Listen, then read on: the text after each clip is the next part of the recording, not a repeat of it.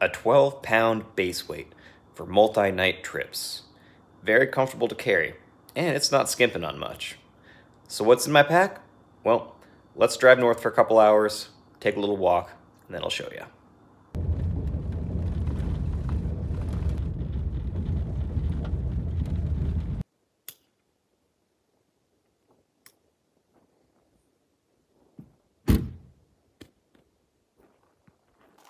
All right, walk.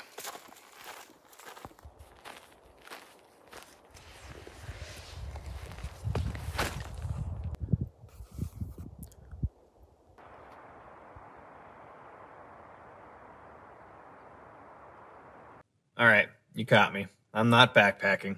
I'm car camping today. I'm kind of trying to nurse this undiagnosed foot injury that I have, so I'm taking it easy but aside from the canopy, the table, and of course a cooler of beer, I'm really just car camping out of my backpack gear. So I figured, why not? Better time than any to talk about the gear that I've been using. So I have here a 12 pound lightweight gear loadout for three season backpacking. I don't know the weight of every single item in here off the top of my head, so I will put the weight right up here as I pull them out of the backpack. I will also include a link to my lighter pack in the description. And in that lighter pack list, I'll try to link as much as I can. So again, this is just base weight. This is not food, fuel, water, total weight that I'm carrying. Uh, not the consumables. This is just all the gear that I bring with me. So we'll start from the outside of the pack and work our way in. So let's start on the front here. So on my shoulder strap, I have my Garmin InReach Mini. I think everyone should have some sort of satellite communicator with them just in case of emergency and you don't have cell service or if your cell phone is dead. So I think that is important to have. On either side pocket, I have a one liter smart water bottle. In this pocket, I also have my CuloClean bidet and a dedicated 700 milliliter smart water bottle for it. Yes, I use a dedicated bottle so I don't reuse my drinking water bottles for my backcountry bidet. In this hip belt pocket, I have my Opinel number 8 pocket knife. I don't think I really need anything more than that. Usually in this hip belt pocket, I would carry my iPhone 12 Pro, but I am recording on that, so obviously I'm not going to be pulling it out of the backpack right now. Uh, in the front pocket here, I have my first aid slash med kit. I'm not going to go through every single thing that's in here, but it's got the basics. Toothpaste tabs with a toothbrush, uh, some sunscreen, some chapstick, uh, band-aids, Advil, etc. Things like that. All right, next up we have my trowel. This is the Bogler trowel. For years, I used that Tent Labs number two, whatever that's called, the really popular one, and that just ate up my hand. This is much nicer on your hand, so highly recommend these. Kind of use with the trowel. I have a bag of hand sanitizer and some toilet paper. Now, that's a separate discussion. I don't really use much of the TP for the bathroom sake, more for blowing my nose because of the bidet, but I like to have some as a backup anyway. All right, and then we have my water filtration system. So this is the very popular Sawyer Squeeze. This is the full-size Sawyer, not the mini one. Also in this bag, I have my water bag, and this is the CNOC Vecto 2 liter. This is a substantial upgrade over the generic bags that come with the Sawyer.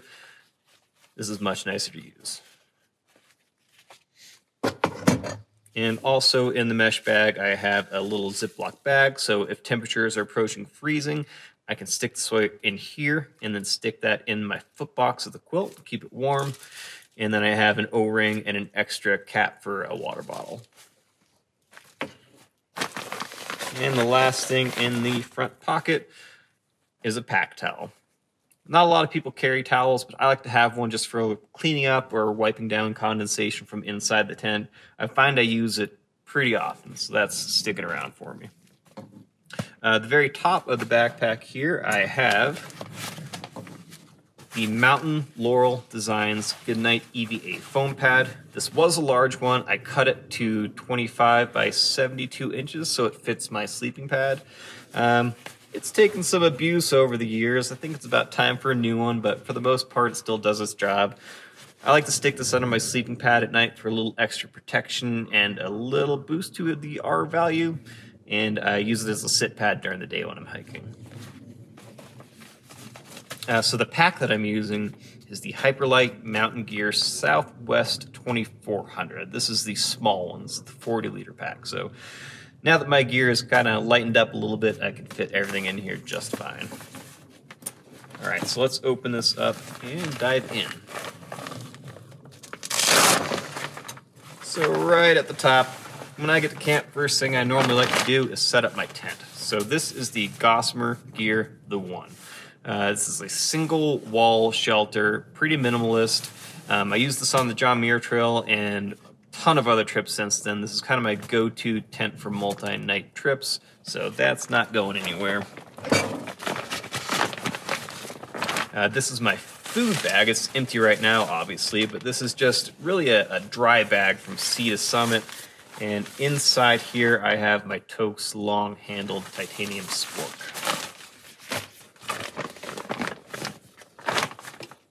I bring some sort of booze every time, hence my trail name Nightcap. Uh, this is just a uh, Nalgene flask, 10 ounces, got it from REI. But if I include my water bottles, I'm including that also. I have long hair, so I always bring a little hairbrush. My cook system is all in here. So this is the Toaks 750 milliliter titanium pot. And inside here, I have my stove. This is the MSR Pocket Rocket Deluxe and a full-sized Bic lighter. All right, next up is my sleeping pad. This is the Nemo Tensor. Uh, this is the new version, the insulated version, the 4.2 R value.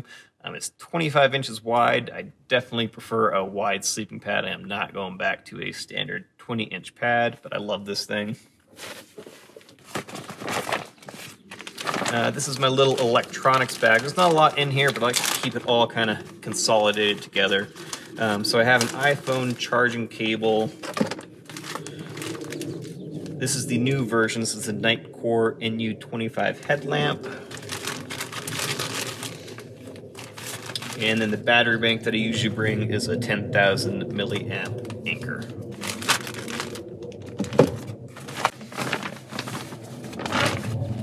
Next up is my pillow. And it's kind of dirty, but this is the Sea to Summit Aeros Premium Pillow.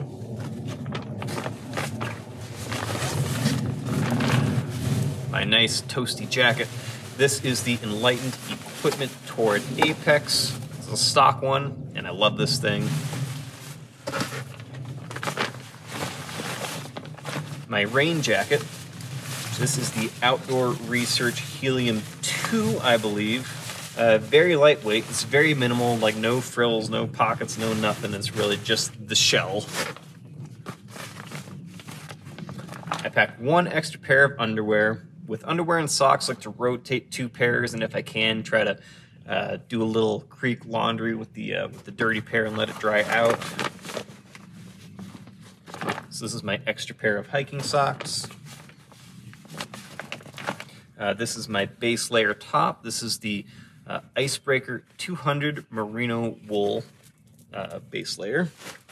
I did forget to pack my base layer bottom, so that does add a little bit of weight. So it'll be just over 12 pounds total for the base weight. Um, but they are the Smartwool 250 weight merino wool leggings. I do like to have a specific pair of sleep socks, so not that I'm going to be hiking in. Uh, these are just some thicker Smartwool socks, but I like slipping into a nice, thick, cozy pair of socks at night, especially if they're clean. It just feels nice. And these are a little bit warmer to sleep in than my hiking socks. All right, and speaking of warmth, the beanie that I use is this Outdoor Research beanie. And I have these Manzella gloves. I've had these for a while. I think I just got them from Sportsman's Warehouse. They're nothing special, but they're getting the job done, so if it ain't broke, don't fix it. All right, we're getting to the bottom here. So an important piece of gear here is my quilt. This is the Enlightened Equipment Revelation. This is the 20 degree version. This is also a stock version, and I love this thing. It has treated me well and kept me toasty down to approaching freezing. And the last thing that I have in here for that quilt is one pad strap. It came with two, but I just like to use the one. So there you have it. And that is a 12 pound lightweight gear loadout, good for three season backpacking. Now, of course, there's an exception to every rule. This is not what I bring every time, just a majority of the time. My gear list will change a little bit depending on conditions of the trip. Like if I know I'm going into wet weather or really cold weather, I'm probably not going to bring the Gossamer Gear tent. I'll probably bring my Nemo Hornet or another double wall tent because it manages condensation a lot better. If I'm going to be getting my feet wet via creek crossings or rain. I'm probably going to bring a pair of uh, sandals for camp so I can dry my feet out and uh, just let them breathe. If I'm backpacking with my girlfriend, I'm going to bring a two person tent, not the one person tent. And if I'm just going out for a casual one night trip, I'm bringing my chair. I like that little extra luxury. The one pound is worth it. But a majority of the time, this is what I am taking with me. And honestly, for 12 pounds, there's not a lot I want to change. But what about you?